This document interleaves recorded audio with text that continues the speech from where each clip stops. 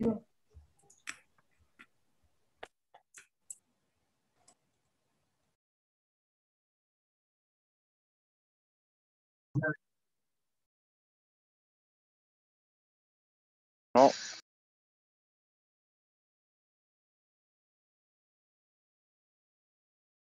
Regla, ¿no? Su nombrecito al chat. Y algunos ya saben, pero hay que repetir. Es una y otra vez.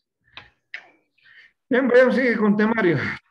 Ya hemos entendido también cómo se hace el hisopado, ¿no? A qué, a qué, a qué característica amigdalina No se olviden que acá en color negro ahí hay una amígdala. Se llama la tonsila faringia o amígdala faringia, ¿no?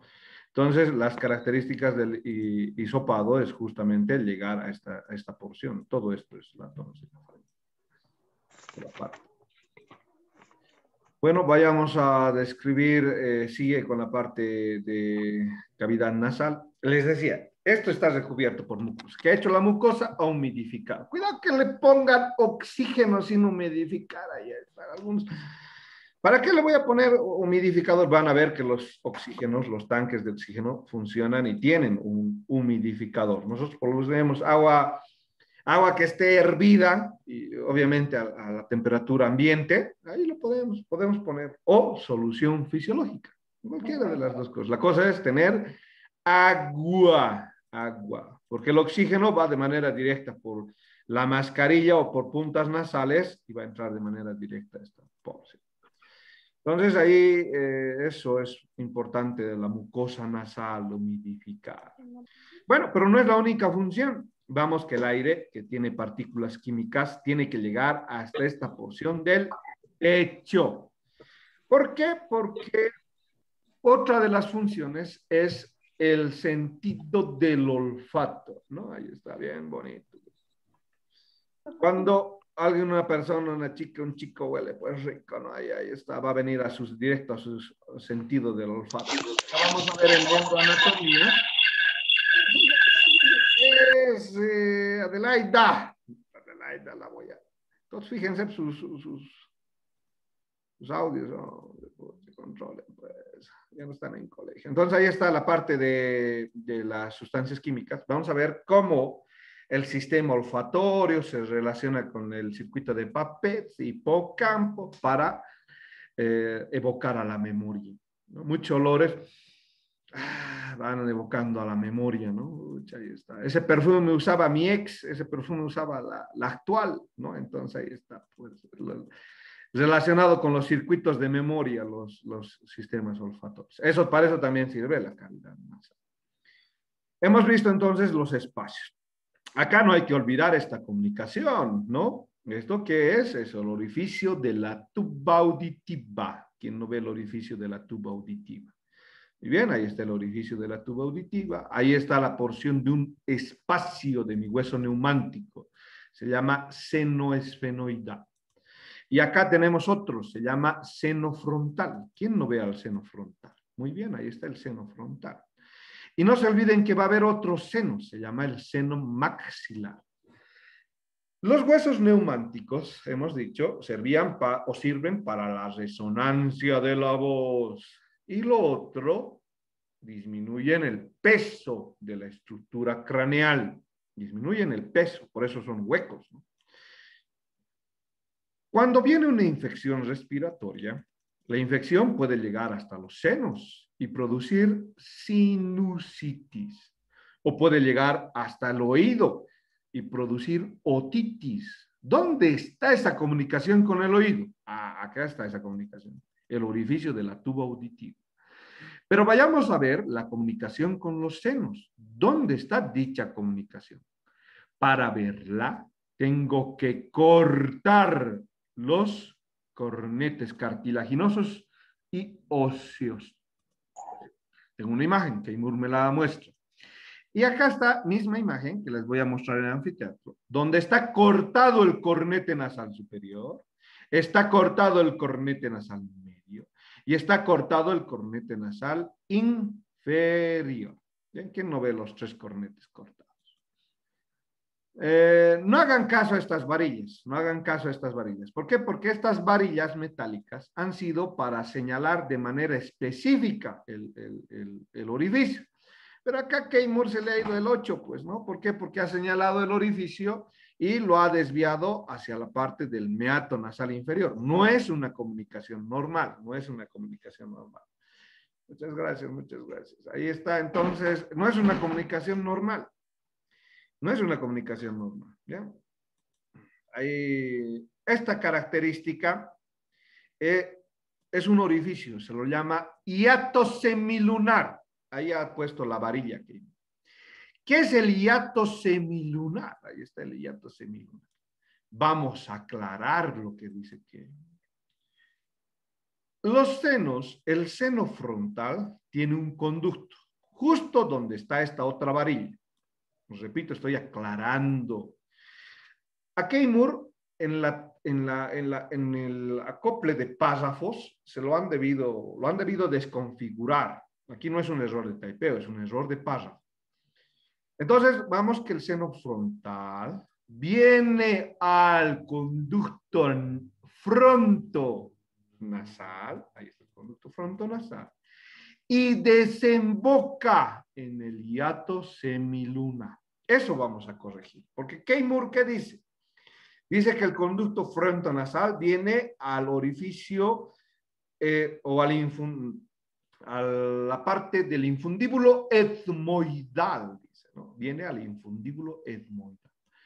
No, al infundíbulo etmoidal, tal como nos muestra su imagen, vienen a desembocar los senos o las celdillas etmoidales, anterior y media. Por eso se llamará infundíbulo etmoidal. Repito y recalco, corrijan esa parte para pregunta de examen, lógico si les estoy aclarando. Al infundíbulo etmoidal desembocan las celdillas etmoidales anterior y media. Por eso se llama etmoidal. ¿Dónde está el infundíbulo etmoidal? Está por encima de una dilatación, se llama bulla etmoidal. ¿Quién no ve a la bulla etmoidal? Esta dilatación parece un globito. Es una parte de cartílago donde superiormente está este infundíbulo etmoidal donde desembocan las celdillas etmoidales. E inferiormente está el hiato semilunar, donde desemboca el seno frontal y desemboca el seno maxilar, por si acaso. El hiato semilunar es la desembocadura del seno frontal y el seno maxilar. Es a través de este hiato que las bacterias pueden ingresar, van al, al meato medio y debajo del meato medio encuentro todas estas tres estructuras. La bulla etmoidal, el fundíbulo etmoidal y el hiato semilunar. Muy bien, las tres por debajo del meato medio. Vamos con el meato inferior. ¿Qué voy a encontrar en el meato inferior? Solo un orificio color rojo, del conducto nasolagrimal. ¿Quién no ve el color rojo? Entonces, voy a introducir en el anfiteatro. Hoy también pueden venir, tenían que venir. Nos vamos a ver a las, a las diez y media, obviamente, en el anfiteatro, un grupo. Tiene que venir. Y los que no, les voy a dar tiempo para que ahorita vayan, tomen un trufi, se alisten y nos vemos en el anfiteatro diez y media. Hay tiempo de sobra. A ver qué hora es. Mm, había tres estudiantes. Uy, ahí están los tres estudiantes. ¿Quién estaban en el anfiteatro? A ver, a ver, a ver. La clase que yo tengo aquí en el cronograma anterior es a las 10 y 10. A ver, voy a ver. Jueves, viernes. 8 y 40 me han puesto la anterior. Ya, caramba. Ni modo ni modo, error de eh, coordinación con la teórica y práctica. ¿no? Nuestra primera hora es teórica en realidad, por eso asumíamos que la siguiente es práctica. ¿Quiénes están en anfiteatro conectados? Levantar la mano. Nadie está en anfiteatro.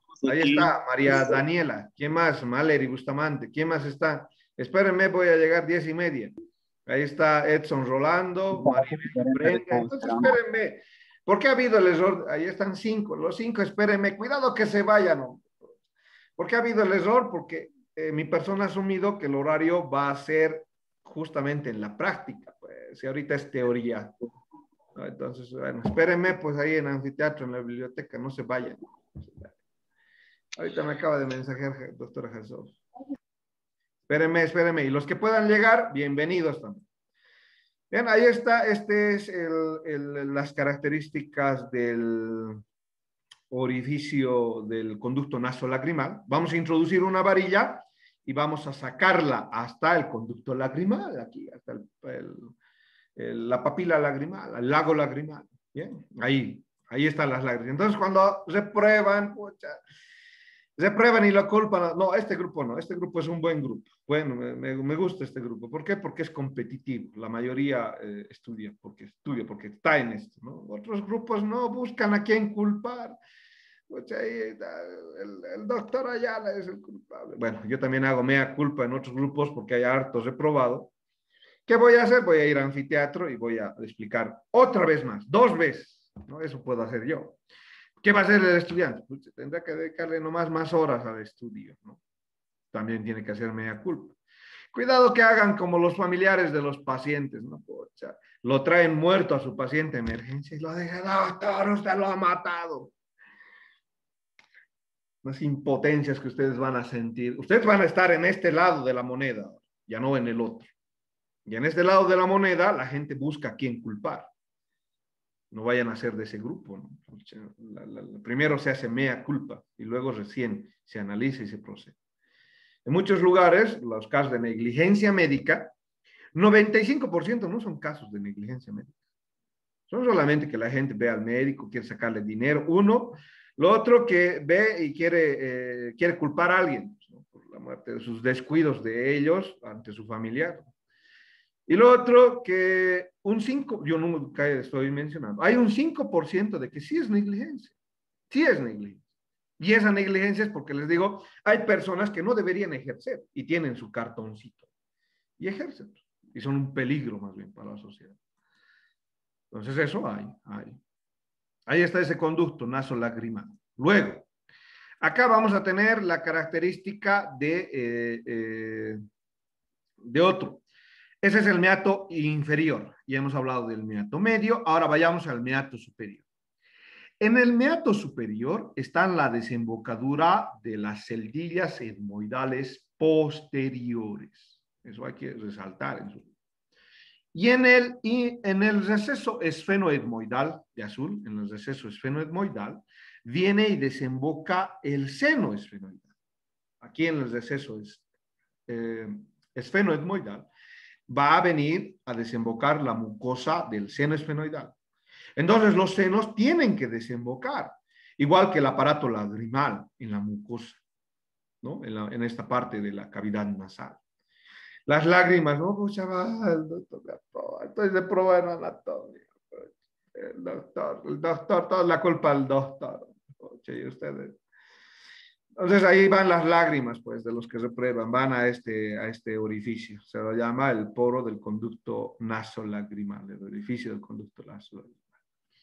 Muy bien, los microorganismos pueden entrar por estos conductos, repito, ¿no? Una infección respiratoria puede producir conjuntivitis.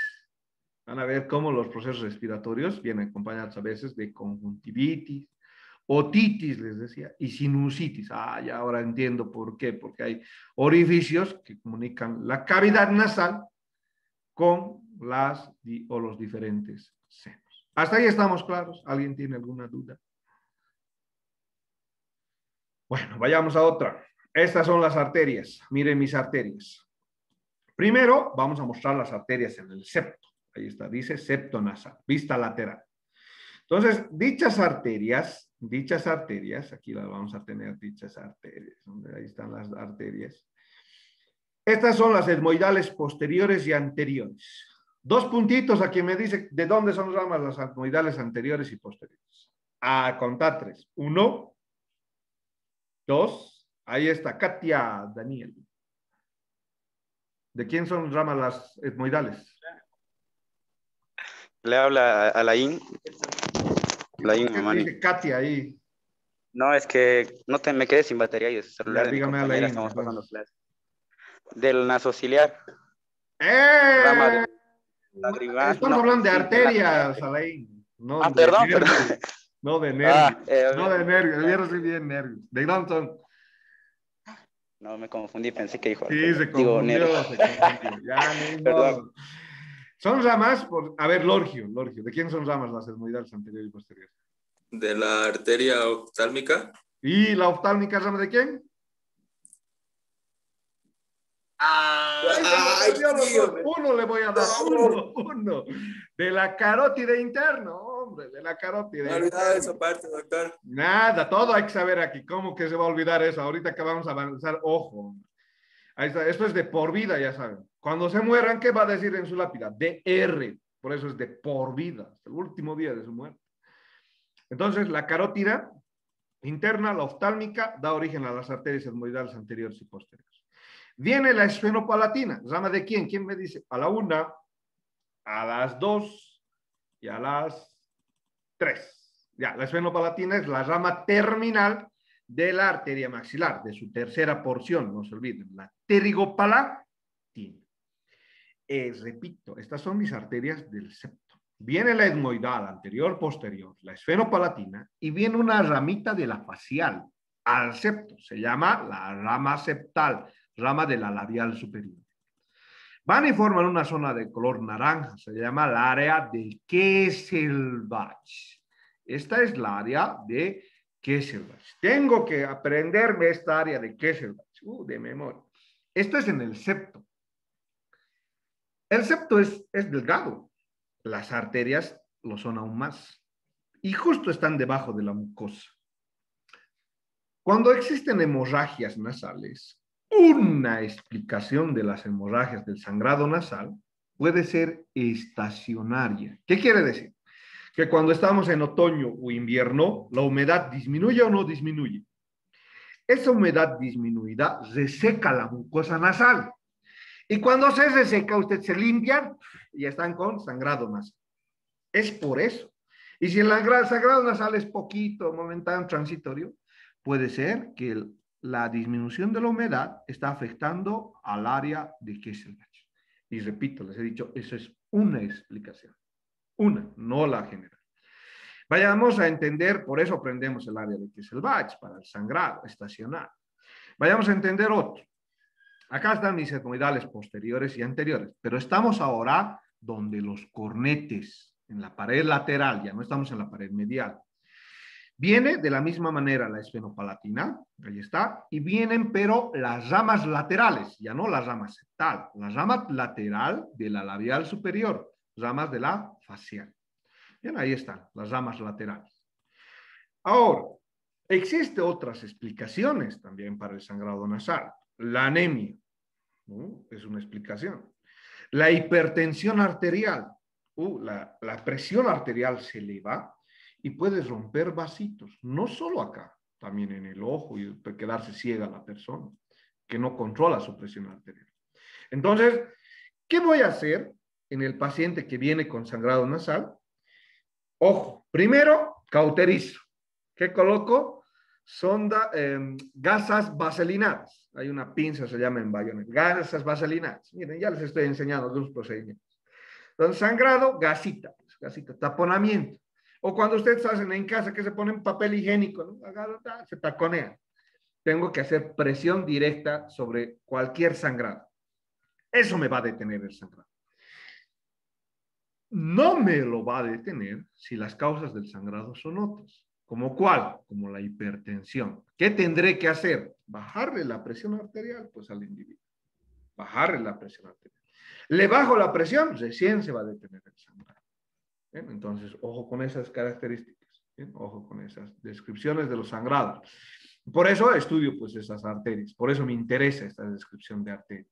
Saber que están debajo de la mucosa, están calentando el aire, están humidificando el aire.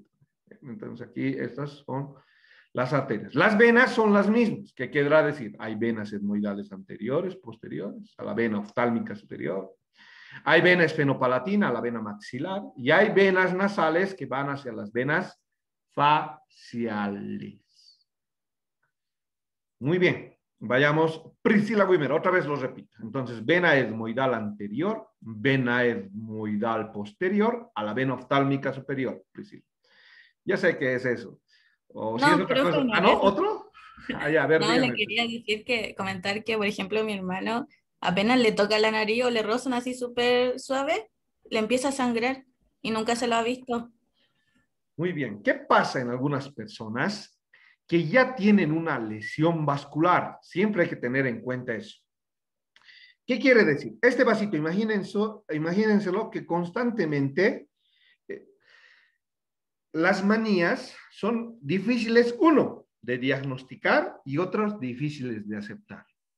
¿Por qué? Porque viene el paciente con la manía de mascarse las uñas y dice, no, no me masco las uñas, doctor.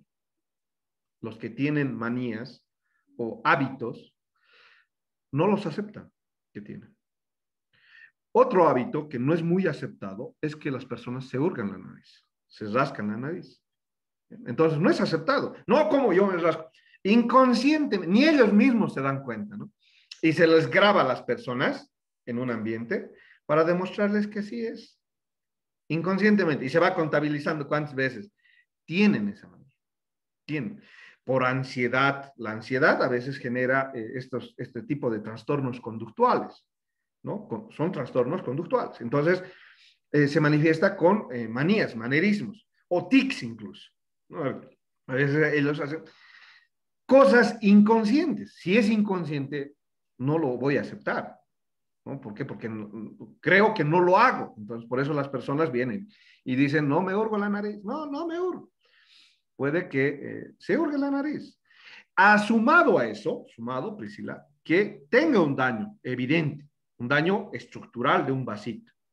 Si no soldamos ese vasito con el constante hurgueteo, va a sangrar, pues, una, dos, tres, todo el tiempo. Porque como usted dice, se solo se toca y ya sangra. Hay que soldar la arteria. Nitrato de plata, hay que llevarle al otorrino, laringólogo, y él va a soldar la arteria. Que, se suelda con nitrato de plata. Bien, el otorrino va a soldar el vasito. Porque si no lo soldamos, vamos a estar con este problema, con este problema constante, constante, y el vasito va a seguir. Hay que anularlo. Igual va a crecer otros vasitos. Y mientras no lo anulemos, este vasito va a seguir permeable y va a seguir sangrando. Es una hipótesis hasta la distancia con lo que me acaba de decir. Y mire todo con razonamiento anatómico. Los nervios. Una es la sensibilidad general y otra es la sensibilidad especial, igual que en la lengua. La sensibilidad general la dan el nervio etmoidal anterior. Ahora sí, pues, ¿quién era hace rato el- en el celular de otro? Ahora sí, el etmoidal anterior es ramo del nasociliar y ahora es ramo del oftálmico, ¿no? Ahora sí, pues, ahora se tienen los nervios. Los nervios, no hay que olvidar eso. Y mi nervio nasopalatino, de la misma manera, es rama de mi nervio maxilar y mi nervio maxilar es rama de mi nervio trigémino. Esto es para el septo, lo mismo, para el tabique. El tabique duele cuando se rompe, duele, pues ahí está mi nervio etmoidal, el nervio eh, pa- nasopalatino, porque han destruido eh, su tabique, qué dolor. Acá tenemos otros. Eh, tenemos eh, lo mismo, el etmoidal anterior, pero estamos en la cara lateral. Está el etmoidal anterior y tenemos también mi nervio nasopalatino. ¿Por qué el ganglio está inmiscuido en la característica de la, ah, de la distribución nerviosa? Recuerden que el pterigo palatino es un ganglio parasimpático.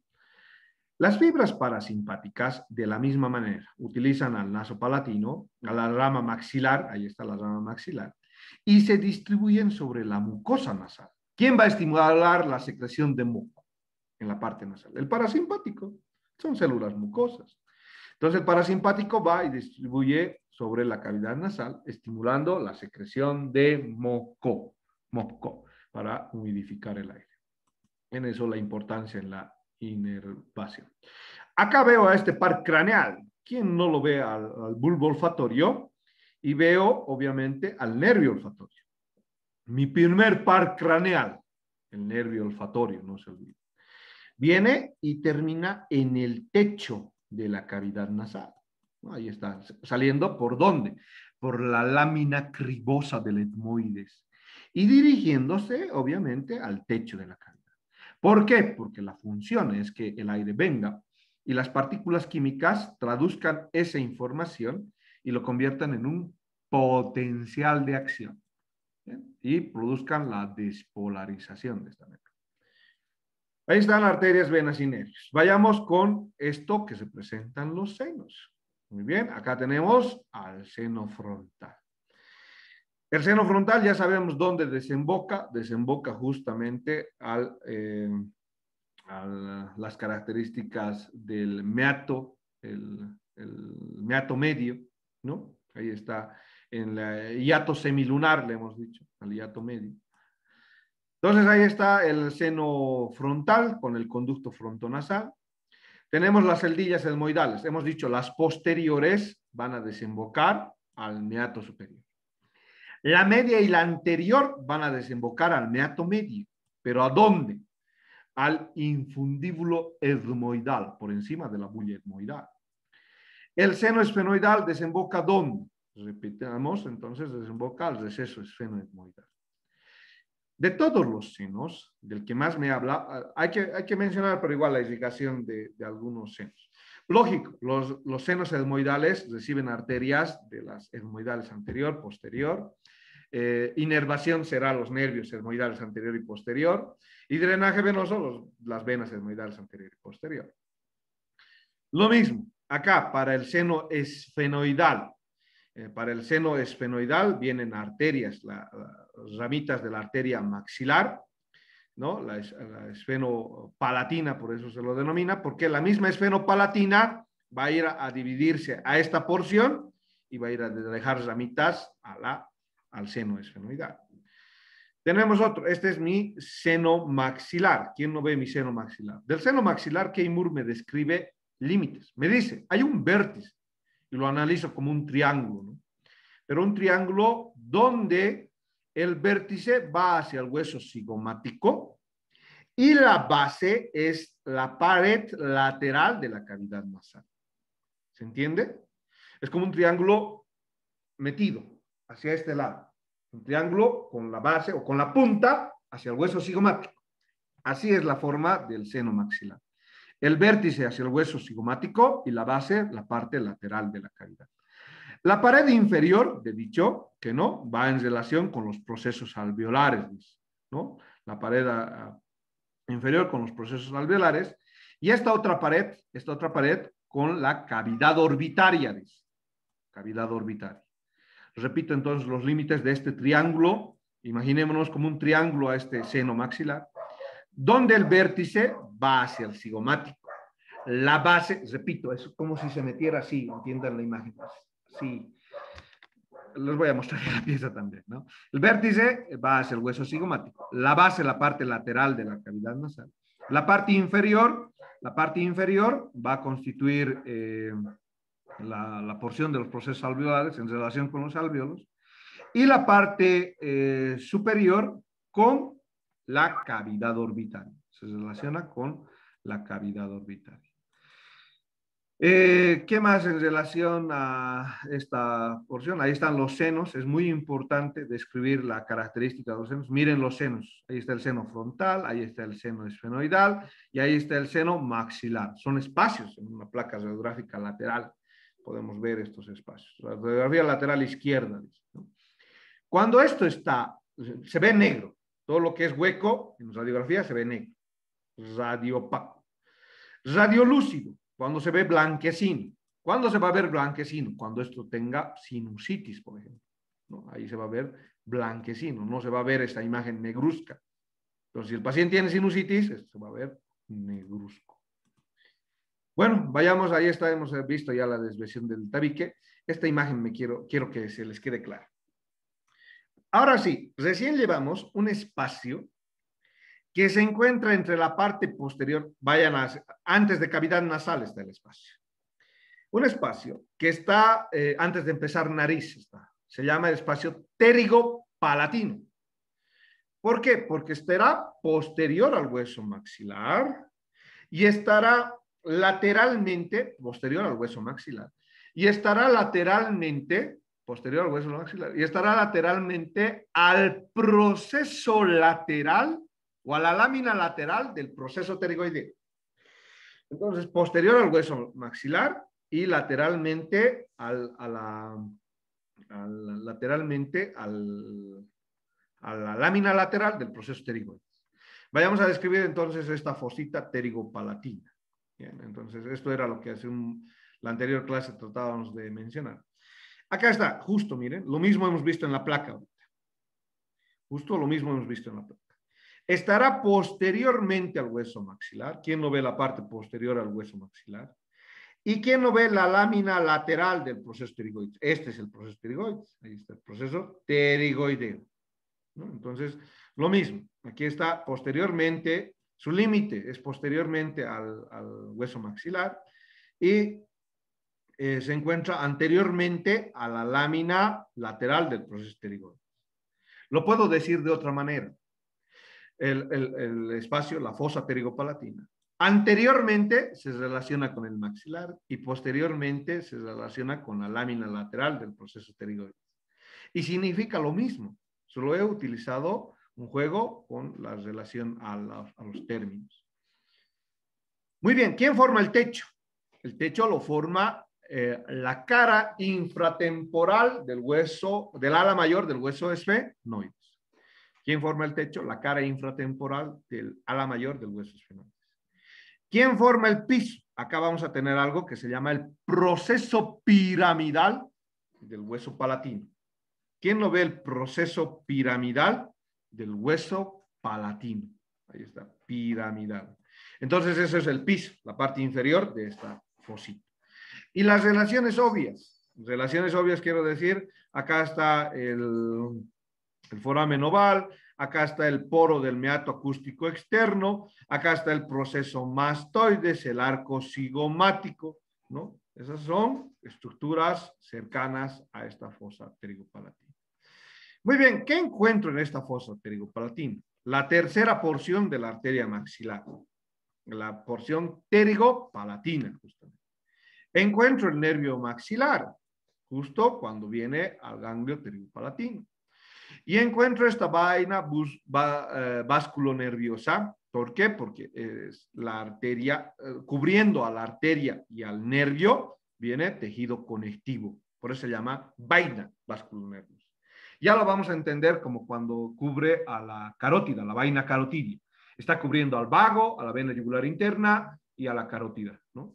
No es lo mismo, es esta vaina vasculonerviosa. Está envolviendo a mi arteria mascula, va maxilar y a mi nervio maxilar. En esta otra imagen, lo mismo hace que aquí, aquí. Me muestra la, característica de este espacio. Pero además me hace entender que existen orificios en dicho espacio. ¿Quién no ve mis orificios palatinos? Ahí están mis orificios eh, para, en la parte posterior del maxilar, no palatinos, en la parte posterior del, huesito maxilar, para el ingreso de mis arterias alveolares. Yo ya sé que mis arterias alveolares posterior y superior son ramas terminales, son ramas, eh, son ramas eh, terminales de la arteria pterigopalatina, la tercera porción de la arteria maxilar. ¿Por dónde van a entrar? Ah, eso había que mencionar. Aquí está justamente, ingresando por esta porción. Muy bien, eso del, de esto, de esta característica del, del, proceso. Acá vamos a encontrar las estructuras eh, nerviosas, recordándonos, ¿no? Acá van a venir, en, es, en, la misma fosa voy a tener a mis nervios palatinos mayor y menor, van a dirigirse entre la lámina eh, lateral del proceso pterigoides, este es mi ganglio pterigoideo, recuerda mi nervio del conducto pterigoideo, mi nervio petroso mayor, mi nervio petroso eh, profundo, ¿no? que forman con la información simpática y parasimpática, y esta se sube a glándula lagrimal, ¿no? Entonces eso ya lo hemos descrito con anterioridad. ¿Alguna duda de nariz? Algo que hayan leído. Ya les he dicho, nos alcanza el tiempo para hablar del 97%. Si alguito me he ido, léanlo, es importante. ¿no? 3% tal vez que no haya hablado. Ustedes lo tienen que leer. Trataré yo de hablar de todo lo que sea posible, pero siempre alguna cosa se puede ir, ¿no? en la explicación. Y ese 3% tendrá que ser complementado para el estudiante. Vayamos con la parte de oreja. ¿Alguien me tiene alguna duda hasta acá? Hombre? ¿Alguna pregunta? Nadie tiene preguntas, dudas. Y ya estamos pasando a oreja. No tienen preguntas, no hay dudas. Todo está claro, se ha entendido todo o no, ha, no se ha entendido nada. A ver, vayamos a ver oreja ahora. Todo está claro. Ya, pues todo estará claro. Más claro agua. Doctor. Presente, doctor. ¿Presente? ¿Quién me está haciendo presente? Estamos diciendo, si está todo claro, pucha, no, estamos llamando a claros. Está bueno, está bueno. Lo voy a sacar esto y lo voy a subir para, para los videos de, YouTube. A ver, vamos con oreja. Ya, ahí está oreja. ¿Qué vamos a ir describiendo de oreja? Lo mismo que hemos hecho con nariz. Primeramente, la parte estructural superficial. Vamos con la parte estructural superficial. Primero, función de oreja. Dos funciones para la parte de, del oído como tal. La función de que todas las vibraciones vocal, todas las vibraciones en realidad, porque eh, eso es una vibración, no es, no es como tal eh, eh, una, una, característica de como el habla, eh, interpretada. ¿no? Entonces una vibración, ahí está. El oído capta las vibraciones y los transmite para conformar o interpretarlos como sonidos. Sonidos. Y a esos sonidos asignarles significado. Hablamos español, es un sonido. Ahora si les digo good morning, ahí está, buenos días. Ahí mi hija también sabe decir good morning. Ya sabe inglés, ahí está chachando con el inglés. Ah, eh, en quechua, el saludo. Y mainaya, ¿no? Ahí está. Son sonidos. Pero tendrán un significado siempre y cuando se haga un conocimiento. Entonces, la interpretación de la captación de sonidos y la interpretación de sonidos, para, como lo dice Guyton también. Otro, la función del equilibrio. Ahí está la función, nos dice Keymore también, la parte del equilibrio. El pabellón auricular está diseñado con ese propósito. Miren el pabellón auricular. ¿Quién no lo ve al pabellón auricular? ¿Quién no lo ve? Ahí está el pabellón auricular. Ahí está la parte del hélix. ¿En quién no lo ve a esta parte del cartílago? Se llama hélix. Ahí se los anoto, hélix. Vamos a trazar con flechitas lo que se denomina el antihélix. Ahí, ¿Por, ¿Por qué? Porque Alejandra Alcócer ha aparecido y me ha desconfigurado. Disculpenle, Alejandra. Bien, ahí está entonces, este es el antihélix. El antihélix se divide Bien, aquí está el antihelix, se va a dividir en dos ramas y va a generar una fosa. Primero, una separación entre hélix y el antihelix se llama escafa. Esto, este espacio se va a llamar escafa. ¿Quién no la vea la escafa? La separación entre hélix y el antihelix. Esta es la escafa. Muy bien, vamos a tener hacia abajo otra parte dilatada. Este es el lóbulo de la oreja. ¿Quién no lo ve al lóbulo de la oreja? Ahí está el lóbulo de la oreja. ¿Quién no lo ve al antitrago? Y a esta parte que está con color azul se llama el trago. Ahí está el trago. ¿Quién no lo ve el trago? No a pensar que es el trago. En griego trago traduce cabra. ¿No? Ahí está Keymore lo dice cabra trago. No vayan a pensar que es otra cosa. ¿Por qué cabra? ¿Por qué le han puesto los anatomistas antiguos y se ha quedado desde ahí? Porque acá hay folículos pilosos, de la misma manera en el oído externo. Se desarrollan, no en todas las personas. Entonces, yo no tengo, en el trago no tengo folículos pilosos. Va a aparecer, entonces, eh, hablamos con las características de, las, de, las, de los individuos hace un tiempo, cómo no vamos eh, evolucionando de la misma manera. Antes había más individuos con más barba, más, más pelo en pecho, más los, los pelos en la nariz, en, en los oídos, más de